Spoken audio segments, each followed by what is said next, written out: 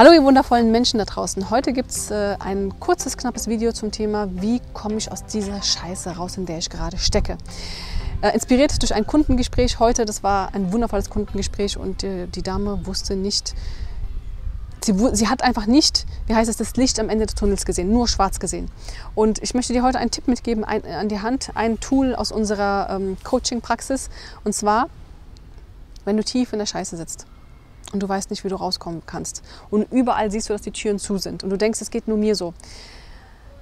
Eine Sache, und die musst du wirklich mal machen, ja, ist dein Unterbewusstsein zu fragen. Stell die Frage deinem Unterbewusstsein. Was kann ich aus dieser Situation lernen?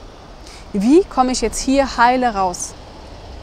Stell die Fragen, die einfach zu deinem Leben gerade passen. Die Frage, die du hast, die dich belastet. Ja? Wie kann ich dieses Problem lösen? Kurz bevor du schlafen gehst, schreib es auf den Zettel, sprich das nochmal in Gedanken aus und schlafe ein. Wichtig ist aber, morgens, beim, also in der Nacht wird dir die äh, Lösung geschickt. Und die Lösung ist oft verpackt, verschlüsselt. Ich habe das ein paar Mal gemacht, das ist unglaublich spannend, was da alles rauskommt, weil unser Bewusstsein kennt die Antwort auf die Lösung.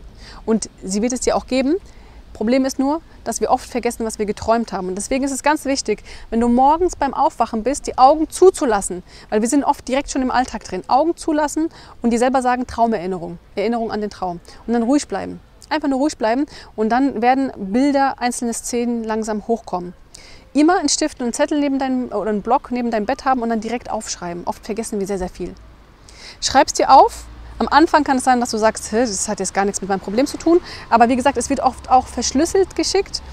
Und wenn du dir das dann nochmal anschaust, die Szene, dann wird dir bewusst, aha, es hat was mit mir zu tun und das muss die Lösung sein. Okay? Mach das mehrere Male. Gerade am Anfang ist es so, dass wir oft vergessen, was wir geträumt haben. Deswegen mach das am besten jeden Abend, bis du dann das hast. Und die Lösung kommt auch nicht mal äh, sofort schlüsselfertig, weil wir sind hier auf der Erde, um zu lernen. Ja? Das ist ein Spiel und wir lernen gerade.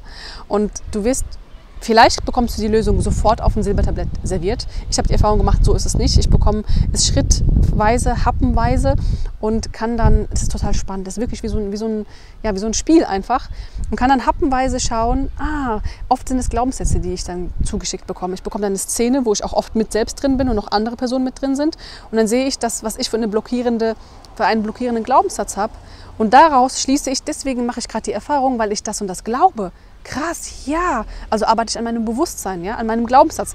Und so habe ich es jetzt auch mit der Kundin gemacht. Wir schauen dann ähm, ins Informationsfeld, was hat sie da für eine Blockierung. Sie arbeitet aber auch nochmal mit ihren Träumen. Das heißt, wenn sie einschläft, sich selbst fragen, morgens aufschreiben, die Träume. Und es ist total spannend, was da alles rauskommt.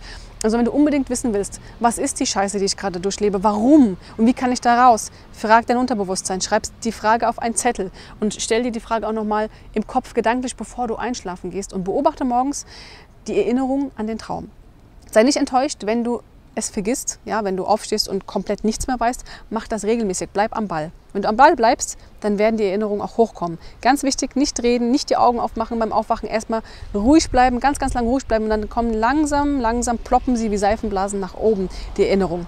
Und wenn du möchtest, dass wir gemeinsam miteinander arbeiten, dass wir zusammenschauen, was hast du denn da äh, für eine Herausforderung gerade in deinem Leben, was sollst du daraus lernen, wie kannst du sie lösen, dann melde dich, unten ist ein Link.